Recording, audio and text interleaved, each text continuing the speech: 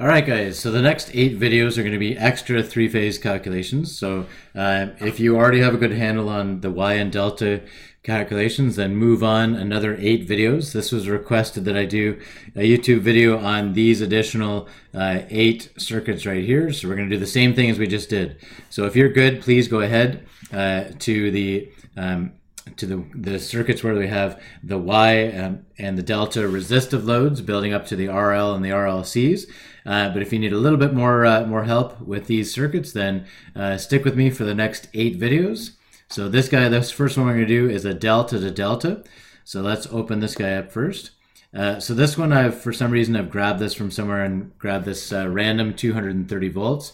Um, so, but let's rock through this one and let's see how fast we can get through it. I time myself uh, prior to doing this, and it seemed like the fastest I could do one of these videos was um, seven minutes. So if I stop talking, then maybe we'll hit that. So the primary uh, doesn't make a difference whatsoever. We're looking at the source. The source is the secondary of the transformer. For some reason, I've gone with this random 230 volts rather than 240 volts, uh, but let's go with it. So that guy is drawn as a line value. So our first thing that we can do is we can drop in our line voltage, which is given at 230 volts. Okay, that feeds this guy right here, so that is 230 volts on the line as well. Okay, and we know that for a delta, we know that V line is equal to V phase. So I hope after the eight videos that we've done so far, that is getting into your head. Uh, so we know that our phase voltage on both of these guys is 230 volts.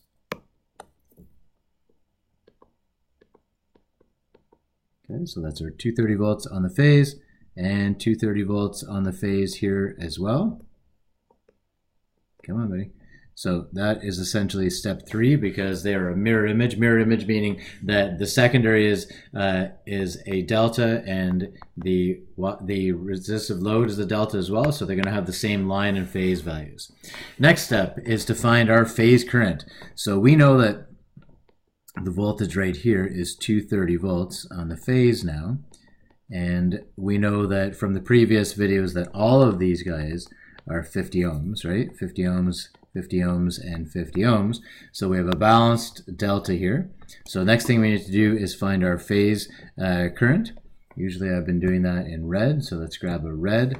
Um, and that is essentially just Ohm's law. We have 230 volts on the phase. Uh, it looks like our resistive value is 50 ohms on the phase, right? So this guy is going right there. And if we do 230 divided by uh, 50, so let's do this, uh, 230 divided by 50, uh, that gives us 4.6. So we have 4.6 amps on the phase. And so that guy goes right here. And that is on the inside of the delta there. So we know that on the outside, our line current is root 3 higher. So the next step is to find our line current. That's going to be 4.6 amps on the phase. We're going to multiply that by root 3, and that'll give us the current on the outside of the circuit. So let's take our uh, 4.6, and we're going to multiply it by the square root of 3. And that gives us 7.967. Okay, that's our line value. So that value is right here. Okay, so now we found the line current, which is here, right? Because it's fed from the secondary of this transformer, 7.967 amps on the line. And we know that there's our mirror image, so the 4.6 that we have here will also be here. And so step six and step seven are just transferring those guys over.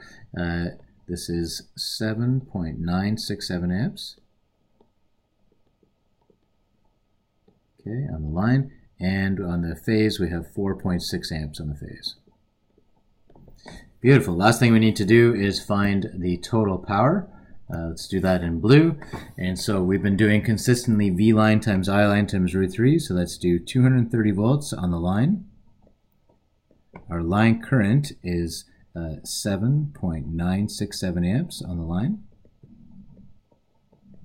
And we're going to multiply that by root 3. And so let's see, we got uh, 230. Easy now, 230. Okay, we're going to multiply that by 7.967 amps. Uh, we're going to multiply that by root 3. And that gives us 3173.827.